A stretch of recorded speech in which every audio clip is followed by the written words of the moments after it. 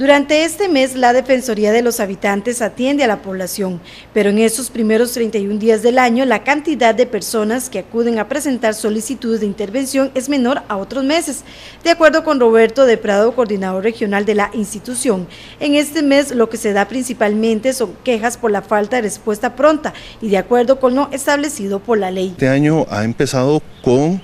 los problemas que nosotros normalmente recibimos son problemas estructurales, son problemas que se presentan eh, normalmente con el quehacer de las instituciones públicas. El tema de la dilación y la falta de resolución en plazos eh, razonables repercuten directamente en la cantidad de usuarios que nosotros recibimos acá en la institución temas que tienen que ver con la dilación en información, en pensiones, principalmente el régimen no contributivo, temas con las ayudas del Instituto Mixto de Ayuda Social, que ya lo he informado en ocasiones anteriores, temas que tienen que ver con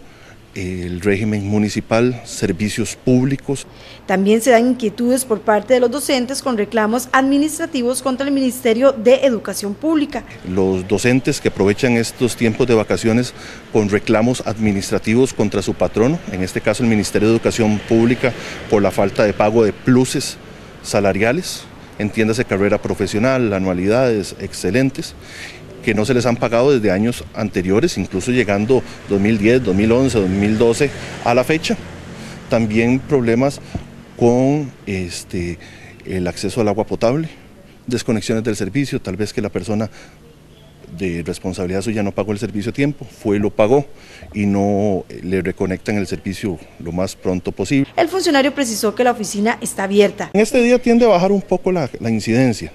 La oficina se mantiene este, en números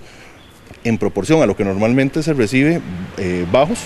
pero igualmente se brinda la atención de lunes a viernes de 8 de la mañana a 4 de la tarde. Ya con el inicio de las clases empiezan a recibir quejas por programas como Avancemos o bien el mismo Fondo Nacional de Becas. Más que todo comienza ya en, febrero, marzo, también recordar que ahorita entra el, el proceso educativo, el ciclo escolar,